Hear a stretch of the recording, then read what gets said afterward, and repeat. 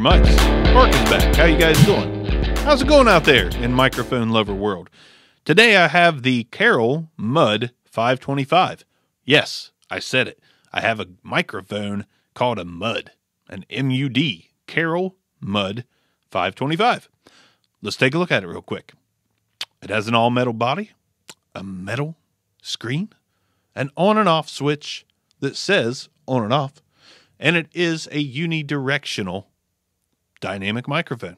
A little crispy, isn't it? I think it's a little crispy. My watch went off. I'm sorry. I had to check it while I was talking to you. So, anyways, I picked up the Carol Mud 525 for $15 on the eBay.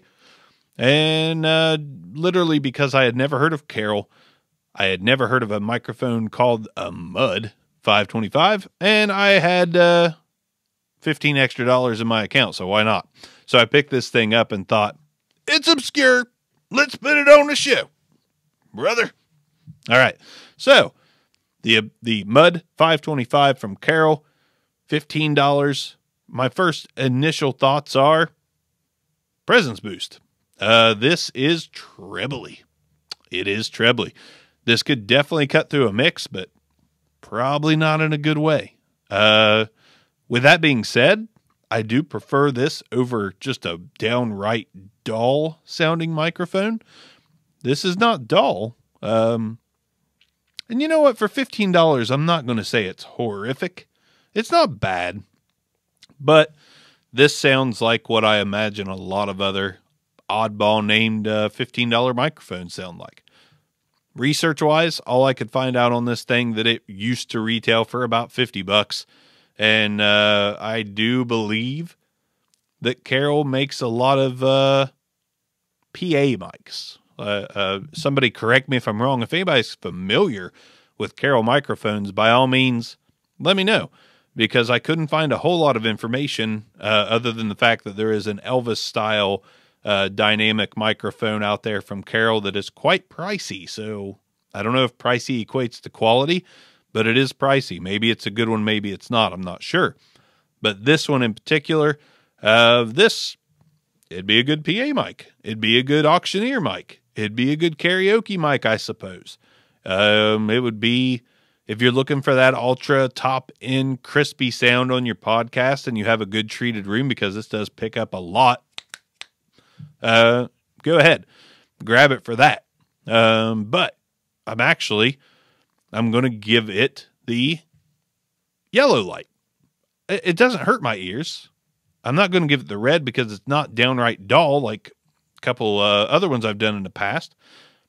That's not horrible. It's not horrible. So I'm going to give you the yellow light on it because I think if you looked around enough, you could find this really cheap. And if you can find a microphone for $10 or less, that sounds not awful might be worth it if you're just getting started. Thank God I'm not just getting started. So I'm not going to be keeping this thing. Like I said, it's not horrible. I give it the yellow light. I think if you like the way it sounds and you want that crispy top end, by all means, go ahead and grab it. Uh, this has a little bit of a broadcasty sound to it, to be honest. It's just not a quality broadcasty sound. It's a it's a low grade to mid grade broadcasty sound. Let's compare it. Uh, like I have been doing lately, the new standard on the show is to compare it with the standard. So we got conden- condenser microphones. I compare to the Rode NT1, and every single dynamic microphone that I do, I'm going to compare it to an SM58. Why? Because the SM58 is the industry standard. Uh, and I also think it sounds really good. I don't think it's the best thing in the world, a lot of people say, oh, yeah, sure, SM58, you have to have one in your mic locker. Not necessarily. I don't, I don't think that's the case. It's a great microphone at a great price that's built like a tank that is quality through and through, but you don't have to have one. Not essential. But for me, it's essential because I want to show you guys what uh, the Carol Mud sounds like compared to the SM58. So let's get that mounted up. That's what she said volumed up even. I think we are volumed up. Carol Mud 525. This is how it sounds. The Carol Mud 525.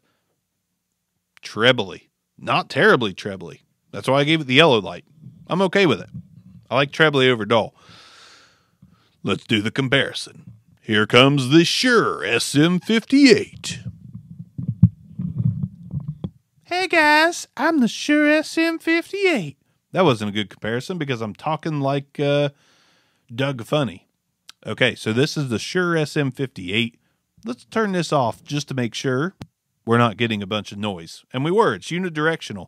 It's going to pick up some other things. So thank God for on off switches sometimes. This is a Shure SM58 in comparison. A lot more, uh, lot fuller sound. And it's still got some clarity. I this is a great mic, no doubt about it. Let's go back to the Carol 525 and turn that on, and we get that crispiness back again, like I said, yellow light because I think it's not painful to listen to. Uh, and there is a right there is a lot of folks right now that like this top heavy crispy sound. So again, the yellow light on the Carol Mud 525. If you like the way this sounds, you can find them on eBay. Uh, you can find them on used mic places. They're out there, fifteen dollars or less. So Carol Mud 525, yellow light all day, not horrible. Bark, obscure mics. Peace out.